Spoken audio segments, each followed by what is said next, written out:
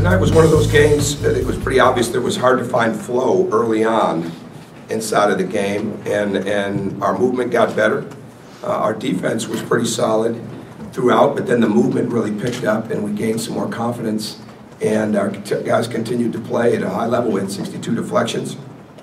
So uh, I'm proud of the way they played, especially with the adversity of having a couple guys out, and then a key guy like Verdell going out during the game. And uh, uh, we we really needed people like Matt Roth and Austin Etherington to step their play up tonight. I think they did. And uh, we got, our, our- starters were very good. It was, it was tough to play without Verdell, but there again, Matt came right in and, and it was next man up, and he did an excellent job with that.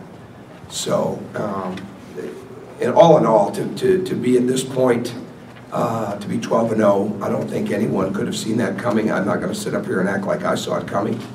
I think to, to have, don't spend much time thinking about last season, but to have the, the same number of victories on December 22nd that we had all of last year, I think the players deserve a ton of uh, credit for what they have done with that. And uh, um, we just want to keep getting better. We really do. We just, we want to keep improving.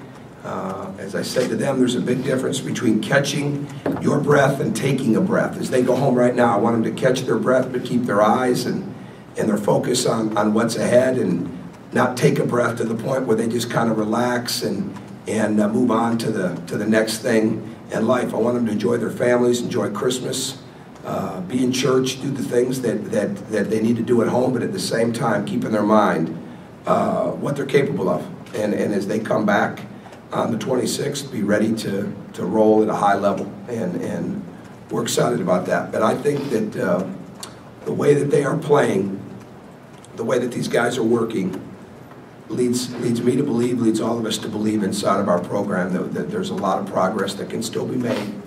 And at the same time, there's guys that want to make progress. And uh, uh, where we want to go as a, as a team, where we want to go as a program, is still a long way out there. But the way that they're working gives us a chance to continue to move towards that. Do you have any kind of sense about, uh, with Will and Verdell being long-term issues? Uh, Those are day-to-day situations right now. What is Verdell's injury? What did he hurt, I guess you could say? Uh, uh, It's, it's, I haven't had a chance to really sit and talk to the doctors as much right now, but, but uh, he was moving around a little bit better. But uh, I think he injured his hip, so probably more of a hip flexor than anything else. Coach, when a guy like Roth gets it going off the bench for, for you, how, how key is that in a game? Oh, it's big. It's big because, because he's a veteran. And uh, it was great to see him do that. It's great to see him go into uh, this break and into the next wave of the season uh, with confidence because we're going to need him. There's no doubt about it. And, and he was ready when his number was called and, and his teammates found him and he did an excellent job. And I thought he did a good job defensively as well. What does it say about the team that, that lead was, I think, 20, then it went down to 10, and then they took off? Uh, I think it says that, that um, uh, uh, they continue to create their own energy. Our guys continue to create their own uh, fire tonight, and um, they kept moving it at at a high level. I thought they did an excellent job uh, of building this lead with their defense, with the break, even when we became a little stagnant offensively. And uh, then our, then our whole mindset became, let's just get more movement on offense and look for the openings that are there. We always felt there were certain things that were open from the film, and they were the same things that were open in the game. We're just having a little harder time getting to them. We've heard opposing teams this non-conference season talk about picking their poison defensively against you guys, but when you guys see a two-three zone with the guys that you have shooting the ball, that's got to be a, a Oh, no question, because I, I think that, uh, I don't know what their game plan was, but it looked very much like they wanted to pack the lane and make it tougher on Cody, and, and we've got to continue to get Cody where he's comfortable being away from the rim looking for a shot, and I think we will. But, yeah, that, that's a great way to think about that, and our guys did an excellent job once the ball started moving better. And we wanted to treat the zone like it wasn't a zone. I mean, just get better ball movement and, and, and get more uh, penetration, more kickouts, and our guys did an excellent job of finding one another. And I think 19 assists in a game uh, that had its ups and downs offensively is pretty strong. On the significance of, obviously, the streak is over now, of of Jordy's 58 in a row free throw shooting. Well, I think that it says, first off, as, as Bob said in the back, he's never heard a crowd cheer like that for somebody that missed a shot. I think it goes to show how uh, knowledgeable and how passionate our fan base is about these guys when, when they acknowledge the fact that what he did was pretty remarkable. I mean, really remarkable. And the all-time Big Ten record, you said, right? I mean, that's, and in top 10 all-time, Top 10 that's all-time. big time. That's big time. And I, and I think that bothered him a little bit, you know, that he, that he missed that free throw because he's such a perfectionist. And I think it showed in his play a little bit, but I thought he came back in the second half and he played like a true veteran, a true leader, and continued to, to uh, find his teammates, even passed up some shots that, that, I, that we wish he wouldn't have. But he was really focused on making this about his teammates after something that's very important to him, you know, went away. But he started a new streak. So I, I think it's, uh, I think it, it's awesome that uh, he has done that over this period of time. And, and the thing I said to him, now for you to go up above and beyond that record, you're going to have to get fouled yourself more a few times. And, uh, and I think that he will. What you- Austin defensively, I didn't- what did you think how he did? Well, I watched the film, but I thought he did some good things. And I think it was really important that he come out with some toughness and grit. And I thought he did that because that's what the next wave is going to really be about. Keeping the dribble in front of him, being a better helper. And we played a lot of different lineups, uh, especially after Verdell went out, and, you know, different mix and matches.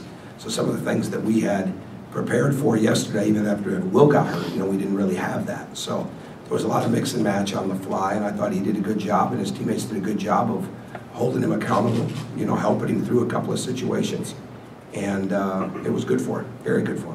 Can you speak to the mentality of the players shooting the ball? I think it was only two of 14 from three in the first half. They were getting open looks that weren't going down. And the fact that they just kept shooting and eventually got them to go. Well, I- yeah, we didn't say anything about the shooting. I mean, we- I'm not worried about that whatsoever in the sense, as long as we're taking good shots, and you, you made a good point. Those were good shots, they were open shots. They just didn't go a couple of times. But uh, it's just a matter of time for our guys, I think, before the shots are gonna go because there's uh, so many of them that can make them and, and they work so hard at it. And it was great to see Christian get hot like that. It was great to see Matt get hot like that. But they were shots that all, all that were all created off action, all created off penetration, all created off the next pass. And I think that's when we're at our best. And inside out can not only come from the post, but inside out can come from penetration into the lane. And uh, that's what we started doing more of as the game went on. You've talked in the past about when Matt starts hitting, it gets everybody else going and it gets everybody else juiced up. Is that, was this tonight another kind of example of that, that people still, everyone else kind of still feeds off? that? Oh, I think so. Yeah, I think so. I think our guys feed off each, I think in the past, when we didn't have a lot of things to hang our hat on to offensively, I think it was more so.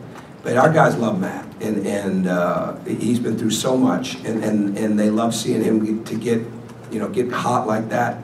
But I think they feed off a lot of different things. I think they feed off seeing guys be successful because they know they're scoring a lot of points because that ball's moving and they're defending well.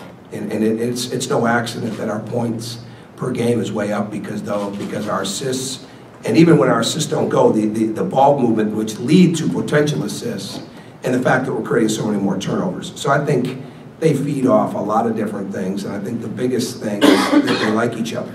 And, and I think, uh, uh, it's really hard right now to come into practice or, or come into a game and not bring tremendous energy and tremendous unselfishness, because I think you'd stand out like a sore thumb, and I I don't think anybody wants to do that. Is it almost a positive in a game like this that they, you had to grind it a little bit earlier and then were able to fight through that? I don't know. I, I mean, you, you want, you want to be fluid in everything that you do, but uh, there was no way that this was going to be um, just another night uh, at the office when you have injuries to two guys that I consider starters. I mean, things are going to change, and, and, and rhythm is going to change, and who's in when is going to change.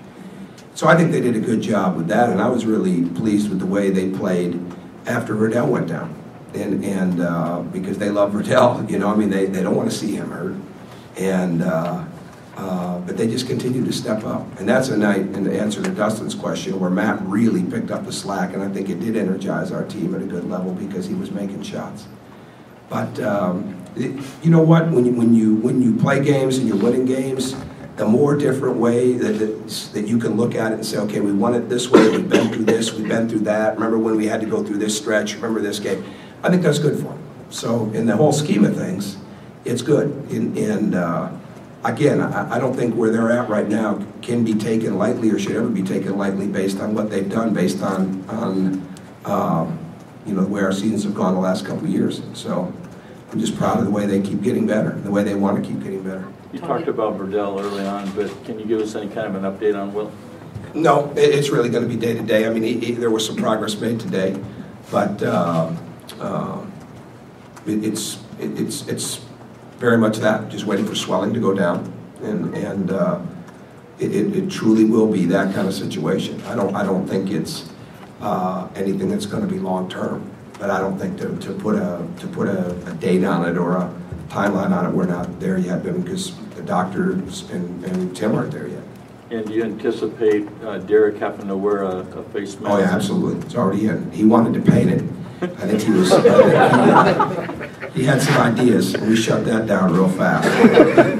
We made sure during the game, he was doing his rehab on his nose, stretching his nose now and again, but Derek is a real treat, so he's, he is a real treat. But, uh, no, that'll be just a regular, uh, plastic, uh, face mask with, with, he's not painting it like a hockey goalie, I know that. What were some of his suggestions? Oh, no, this is, this is a, this is a G-rated place. No, he's, he's, he's just, he's, he's, he's at a different level. I, I wouldn't, I wouldn't have understood it. It's some character, some movie, or something from Tour of Duty, I don't know. We're not doing it. Coach, Jordan talked about next game up or one game at a time, how often do you or the coaching staff look at the Big Ten and scout for the non-conference part? of the season? Um, not as much as you think. Yeah, definitely when we, when we have common opponents. But, but we've definitely, I mean, worked this week ahead on Michigan State. And I'm sure, I'm sure one of the coaches has already had on Ohio State. And I'll definitely look at that. I mean, I already have. So, I mean, and then look at that over the next couple days. So you're always trying to be, uh, you want to have a working knowledge, I think, more than anything else. And then now we'll see each other a lot, you know, see, see all the different teams a lot because everybody will be playing each other. But we've really done a great job of not getting ahead of ourselves. Uh, We didn't even uh, put Michigan State things in or anything like that to prepare for this game. I thought about it, but we didn't. We've really stayed true to the, the next game, one game at a time, you know, staying in the present. And I think it's important to do that as coaches, but we're always working ahead. So that's, that's kind of, that's kind of our rule of thumb, you know, basically. What's your thoughts on Big Ten this year? I don't really have many yet, so I, I really don't. I mean, it, it, uh, it's obviously extremely competitive. I don't think there's any question about that.